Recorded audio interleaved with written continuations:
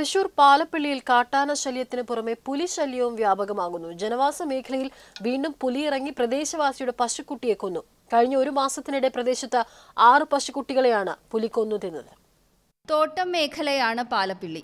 ഭൂരിഭാഗവും തോട്ടം തൊഴിലാളികൾ. ഇവിടെ കാട്ടാന ഇറങ്ങുന്നത് പതിവാണ്. ഇതിനിടെയാണ് പുലി ശല്യവും.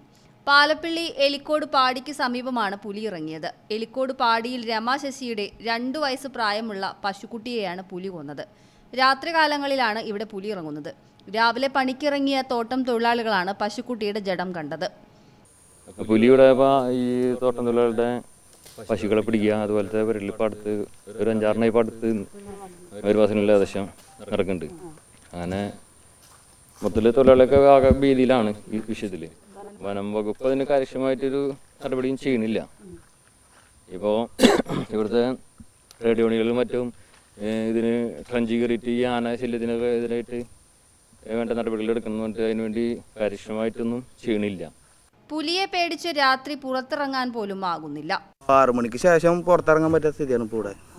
റോട്ടിലായാലും ഇപ്പോൾ വീട് വീടിന്റെ അടുത്ത് വരെ ആനകൾ തന്നെയാണ് ഇപ്പോൾ ഉള്ളത്.